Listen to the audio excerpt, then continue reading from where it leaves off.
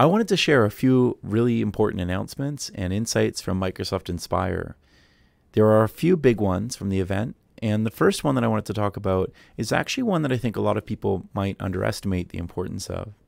It is a bit technical in that there's a new API now available in public preview to enable you to bring data, um, specifically your LMS data or even custom system data that is like an LMS, into something called Microsoft Viva Learning.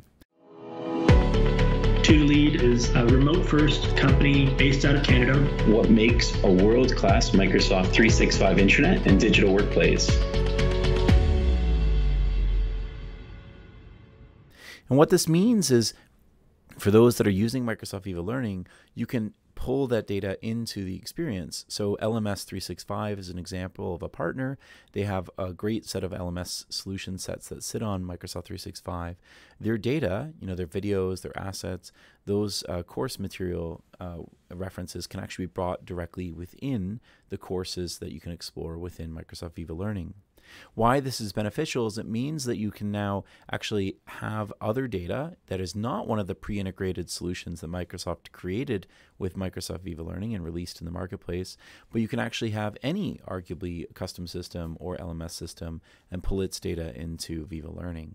This is a big milestone moment because it means literally any learning management solution set that you use, if it has an API, you can bring that data into an employee experience that's designed for learning all the way to the you know individual messaging and sharing of learning objects. So you can say, hey, I recommend this learning for you and message someone it to having a courses and assignments within say a tab and a plan a, a Microsoft team, or you can have uh, the ability to organize these within that Viva Learning experience, an app that people would sometimes go to.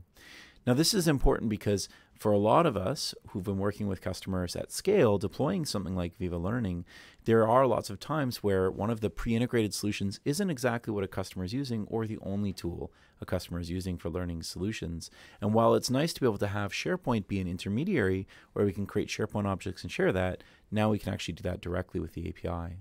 Now, this is only one of two APIs. There'll be another API later this year that's released, and that's for the learner records. So we can actually pull the learning records across into Microsoft Viva Learning, and then that would allow us to potentially show you things like did you complete a course? did the assignment you know you assign some learning to someone did they complete the course? Those types of things within the viva learning experience. So expect further enrichment here over time not just in the api sets but into the, in the scenarios that you can drive with viva learning. And uh, this is definitely my favorite and uh, most exciting announcement even though it's a bit of an api one because uh, it is the number one thing that comes up when i'm working with customers uh, and our team is working with customers implementing viva learning all right. Well, I hope that was helpful for you guys. Looking forward to hearing what your favorite thing from Microsoft Inspire is.